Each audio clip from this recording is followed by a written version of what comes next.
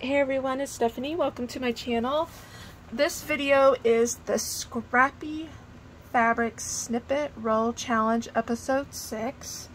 Um, and I do have a little update. This weekend got away, this past weekend got away from me. It was the, it was a holiday and um, I had planned to get this video out much sooner this morning. And so we're going to get into this really quick.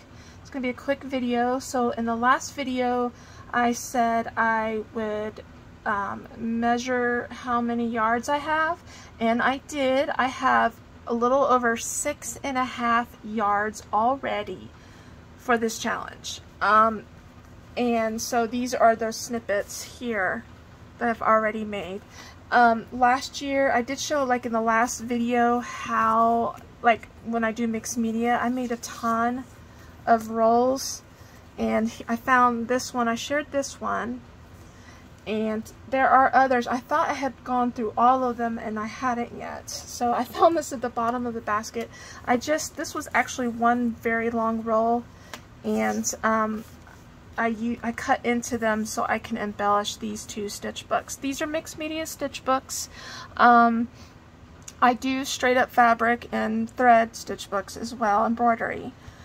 So I do various kinds. I do have projects on stitch books on um, Saturday.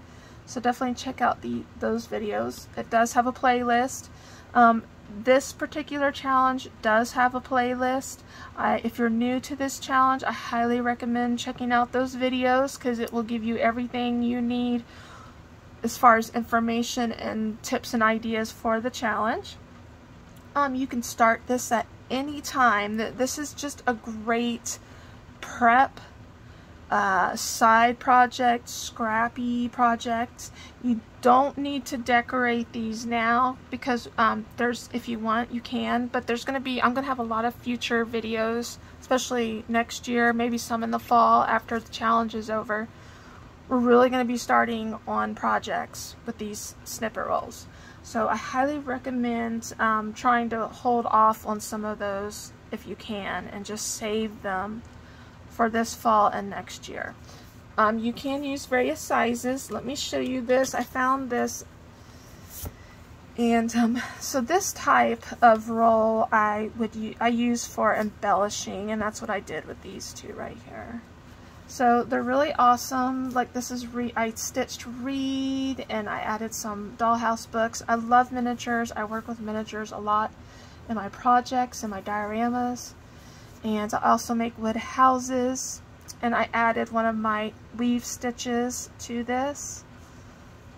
Um, if I, I find a lot of like sticks and bark and things like that outside I use in my projects, just be sure to bake them before you use them. So here's some of my fabric cordage that I make, or twine, if you will. Uh, that's Queen Elizabeth. Some a button that I stained and painted, and this is a um, from my heart from my painted papers, and I put a little bit of my like tea dyed. It's either paper or fabric. I can't remember. I think it's fabric. So this part feels like fabric, and this part feels like paper. So uh, some of my mosaics, some like flowers, buttons, a little brooch, little stitches here.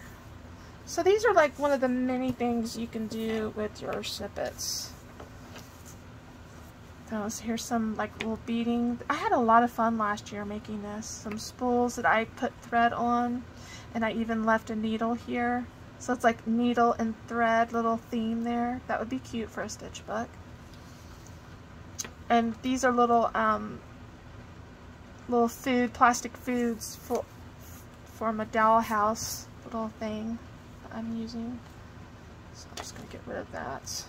Okay, and this one is one of my favorites. I love that. I think it's so elegant. Like a scrappy, shabby chic elegance, if you will.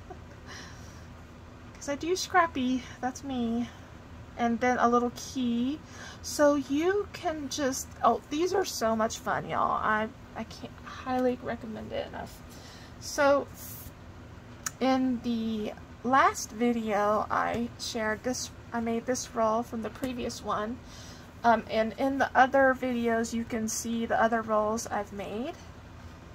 And so I've got this one. Now this one is a very short roll, and it's just because it got crazy busy. It was I had a birthday last week to prep for. It was my daughter's birthday, and then 4th of July, so it just got...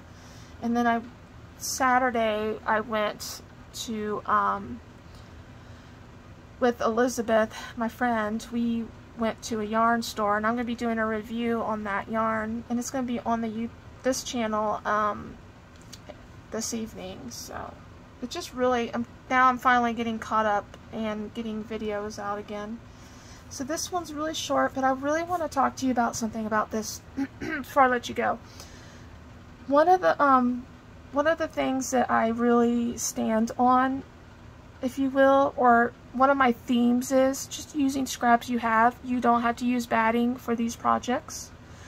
And because batting is expensive, you can find batting rolls of batting on sale every once in a while. That's fine. But if you're new to like stitching and I just want to know you to know you don't have to use batting for bowls. So what I did was I overlap this scrap fabric and I love using denim because that's one of the reasons why I use denim is the durability and the stability of um, denim. Be and because half the time I don't use batting. If I do use batting, a lot of times I use craft felt and that works just as well. If you've watched all my videos over time, you'll see that. so, look at this, and isn't that awesome? And there's no stitching in that at all, and I used um, just Elmer's glue to get this down as a basting. And it's because of this denim too, I firmly believe that.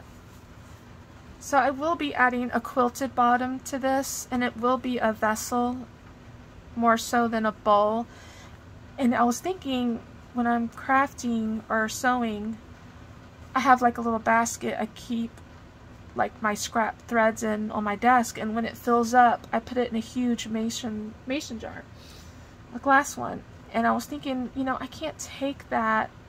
It's just a kind of a hassle to take all that, or even the basket when I go stitching, uh, meeting a friend at a coffee shop for that. We do that about twice a month. So I thought, why don't I just make a fabric vessel, like a travel one, to take with me, to put my threads in, or my yarn, scrap yarns in. So I think this will be that eventually. This may be one of the first projects I work on from these snippets in October.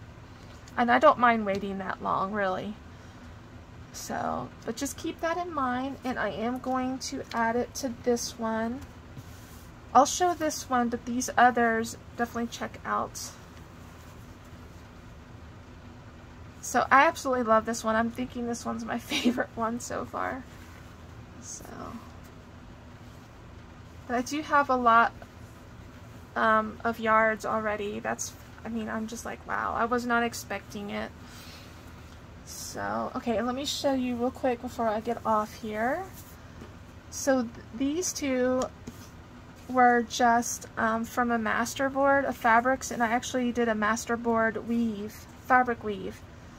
Um, and it turned out great, and I broke broke it down, and I made multiple projects out of it, including like little stitch books. And I gave quite a few away, I believe, because I can't find them, and I'm pretty sure I did give a few away. So these are what I have left. So I cut some of these snippets off this roll, and I made embellishments for the cover. And this one turned out to be like a little cluster. They're like little clusters when you cut them and um, isn't this cute? And it, I like how it kind of hangs over the side right there and it's real scrappy and the fabrics are frayed and kind of floppy. And this um, stamp sticker backs to some of my painted papers. So I'll probably add like maybe some paper pages or fabric. I'm not sure yet. So I'm probably going to maybe add this to Saturday's stitch book projects. I got quite a few stitch books to get through. And so this one is a weave stitch that I did. I like making wonky ones and I just added, um, I get a lot of my faux plants at like Dollar Tree or Joann's when they're on sale and I used that so super cool. And this is going to be a great one too. And I love the wonkiness of it the scrappiness of it.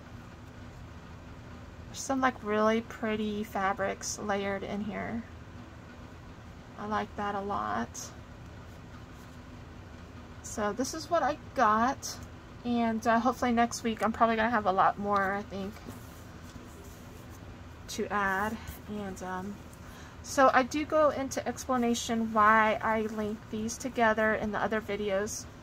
So definitely check that out. And these particular ones I'm just basting with a stitch.